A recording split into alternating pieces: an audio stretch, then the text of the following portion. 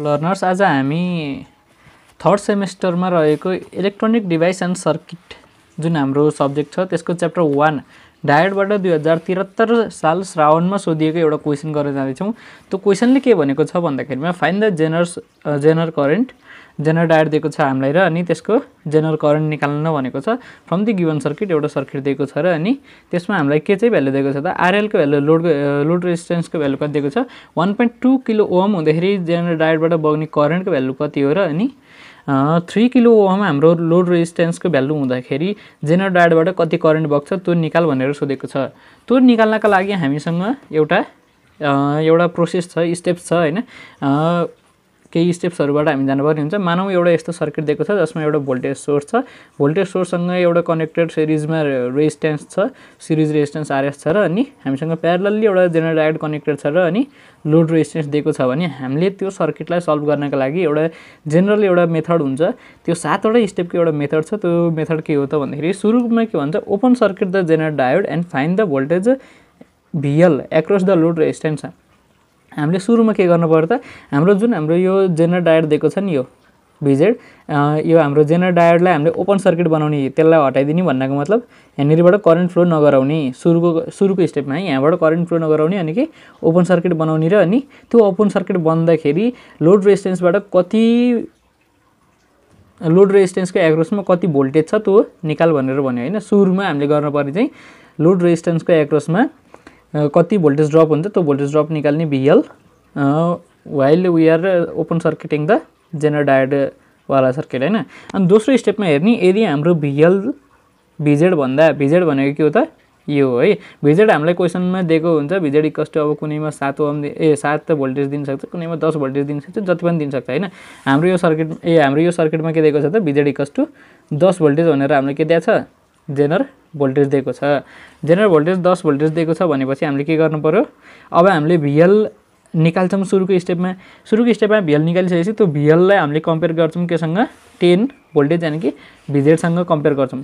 त्यो भिजेडसँग कम्पेयर गर्दाखेरि यदि if VL is greater than VZ यदि हाम्रो लोड रेजिस्टेन्समा हुने जुन भोल्टेज ड्रप छ त्यो जेनरल डायडमा हुने भोल्टेज ड्रपभन्दा ठुलो छ भने के गर्नु त? अनि बल्ल हाम्रो जेनरल डायडले कन्डक्ट गर्छ यानि कि ब्रेकडाउन रिजनमा जान्छ।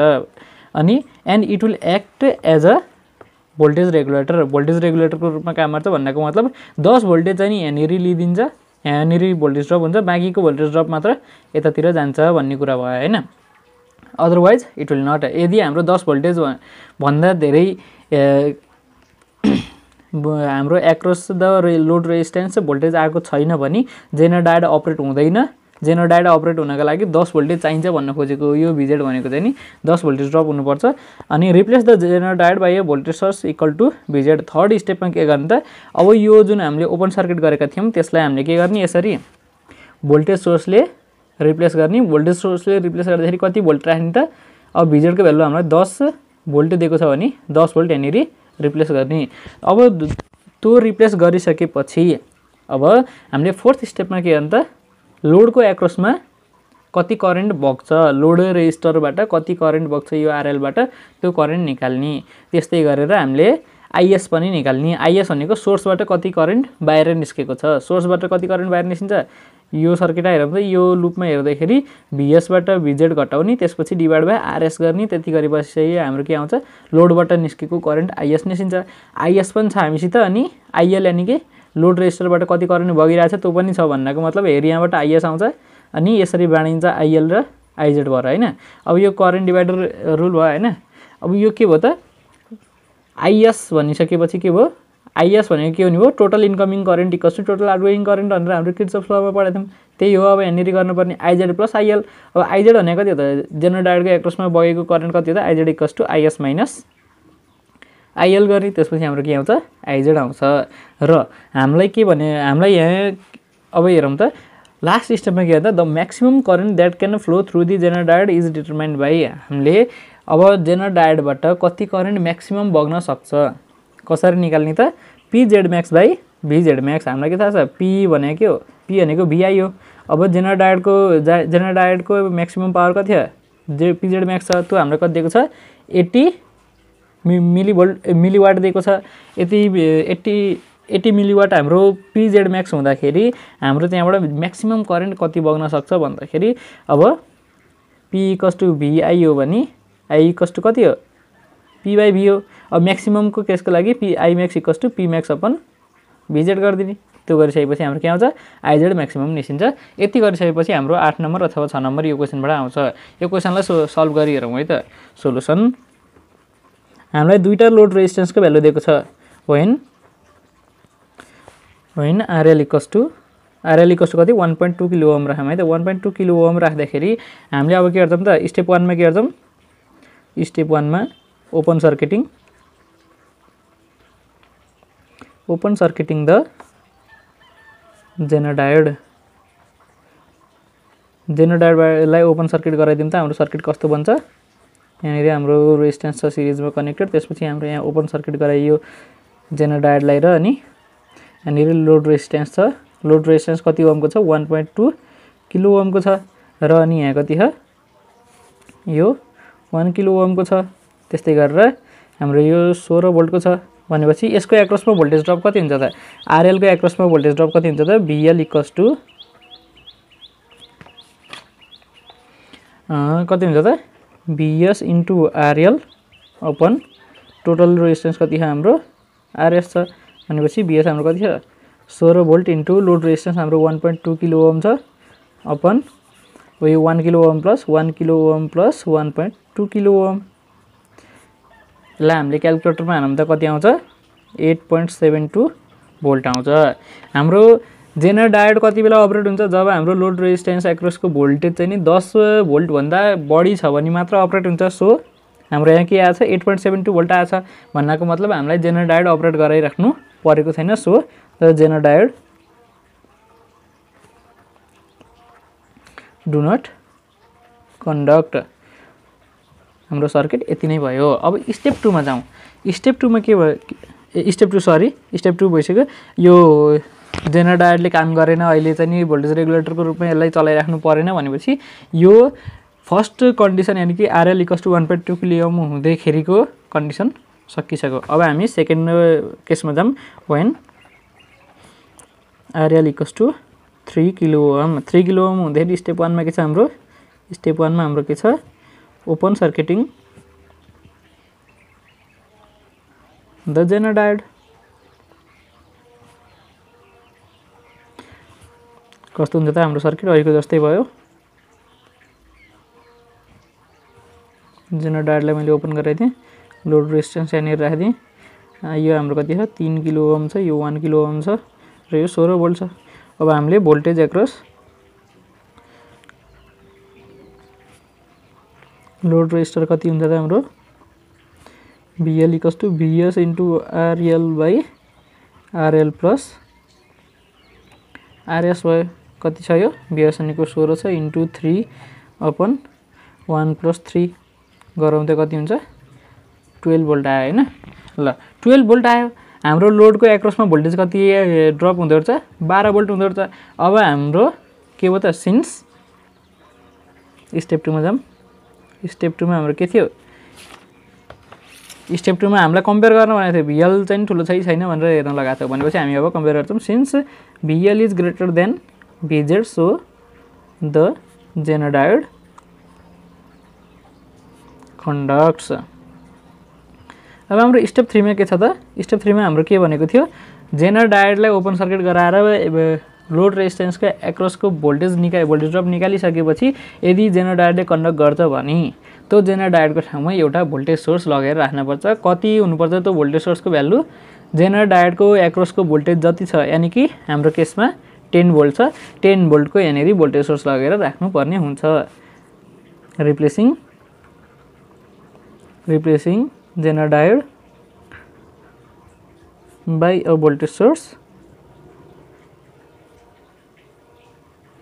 of ten volt हाम्रो सर्किट कस्तो बन्न गयो त? यो सोह्र भोल्टको भयो।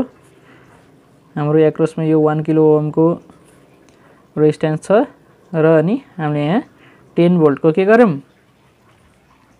भोल्टेज सोर्सले रिप्लेस गऱ्यौँ र अनि यहाँनिर लोड रेजिस्टेन्स हाम्रो कतिको छ? थ्री किलो ओमको हाम्रो लोड रेजिस्टेन्स छ। अब यो सर्किट यस्तो भयो। यस्तो भइसकेपछि हाम्रो स्टेप फोरमा के भनेको छ त? स्टेप फोरमा चाहिँ नि करेन्ट थ्रु दि लोड निकाल भनेको छ। अब करेन्ट थ्रु दि लोड कसरी निकाल्ने? हेरौँ है त। हामीलाई यो यो एक्रसको भोल्टेज भन्नु र अनि यो भोल्टेज भन्नु एउटै हो किनकि यो सर्किट यो दुइटा जेनरल डायोड एक्रलाई बाटलाई रिप्लेस गराएको थियौँ नि हामीले यो भोल्टेज सोर्स यो र यो केमा छ प्यारलमा छ प्यारलमा हुँदाखेरि भोल्टेज इक्वल हुन्छ भनेर हामीलाई बच्चादेखि थाहा छ। भनिसकेपछि अब हाम्रो current across the across the load resistor IL equals कति हुन्छ? भी बाई आर भी कति भयो त? भिजेड भयो। भिजेड जति छ त्यति नै यसको एक्रसको भोल्टेज पनि हुन्छ। भनेपछि अब डिभाइड बाई आरएल गर्न पाइयो। टेन बाई थ्री गर्न पाइयो।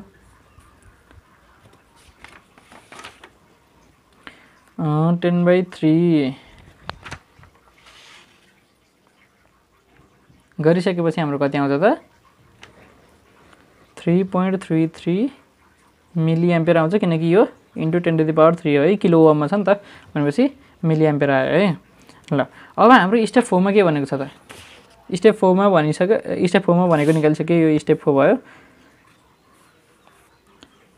स्टेप थ्री स्टेप फोर भयो स्टेप फाइभमा के भनेको थियो स्टेप फाइभमा हामीलाई हेरौँ त सोर्सबाट निस्केको करेन्ट कति हो त्यो निकाल भन्नु भनेपछि करेन्ट थ्रु द यो लुपलाई हेरौँ त। आइएस इक्वस टु कति भयो त? यो लुपलाई हेर्दाखेरि VS minus VZ VS minus VZ upon कति त रेजिस्टेन्स कति छ? आरएस छ। भनेपछि बिएस कति छ? Sixteen volt minus ten volt upon RS कति छ? वान किलो ओम छ। भनेपछि यो कति आयो? सिक्स भयो। डिभाइड बाई थाउजन्ड भनेपछि सिक्स मिली एम्पेयर हाम्रो सोर्सबाट करेन्ट निस्केको छ। सोर्सबाट करेन्ट निस्केको कति हो पनि थाहा भयो अनि लोडमा करेन्ट कति गएको छ त्यो पनि थाहा भयो भनेपछि जेनरल डायडमा कति करेन्ट जान्छ त्यो पनि थाहा पाइन्छ। स्टेप सिक्समा हामीलाई जेनरल डायडको एग्रोसको है। Step six current through the zener diode IZD cost कति हुन्छ त? आइएस माइनस आइएल हुन्छ। यो भनेको सिक्स मिली एम्पियर थियो minus three point three three milli ampere छ यहाँनिर कति आउँछ six minus three point three three milli ampere कति आउँछ त? Two point six seven milli ampere आयो। अब हाम्रो म्याक्सिमम् करेन्ट कति थेग्न सक्छ जेनरल डायरले भनेर निकाल्छौँ है त। अब म्याक्सिमम् करेन्ट थेग्न सक्ने भनेको कति थियो त्यो? Step सेभेनमा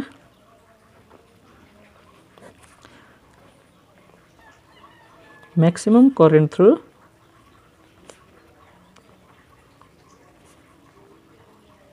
zener diode IZ max यसको फर्मुला के भनेको थिएँ त मैले पिजेड म्याक्स अपन भिजेड भयो पिजेड म्याक्स हामीलाई कति दिएको छ त क्वेसनमा एट्टी मिली वाट दिएको छ एट्टी मिली वाट दिएको छ र अनि भिजेड हाम्रो कति छ?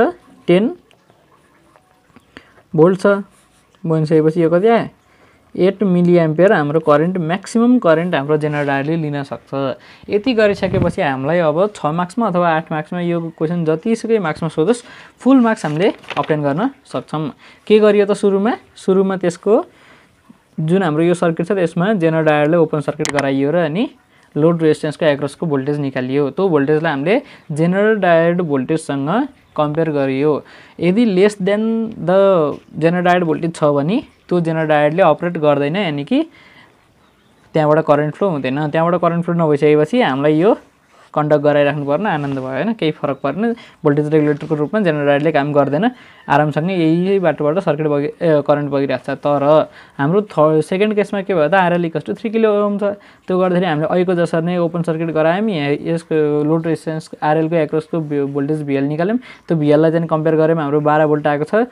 यानि कि हाम्रो अब जेनरल डायटले कन्डक्ट गर्ने भयो जेनरल डायटले कन्डक्ट गरिसकेपछि हामीले त्यहाँनिर के राख्यौँ? जेनरल डायटको ठाउँमा अहिले ओपन सर्किट गरेको थियौँ भने अब हामीले टेन भोल्टेजको एउटा भोल्टेज सोर्स लगेर राख्यौँ।